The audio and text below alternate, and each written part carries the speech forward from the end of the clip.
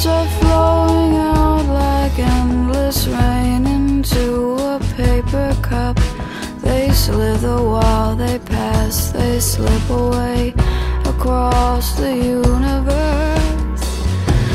Pools of sorrow, waves of joy are drifting through my open mind, possessing and caressing.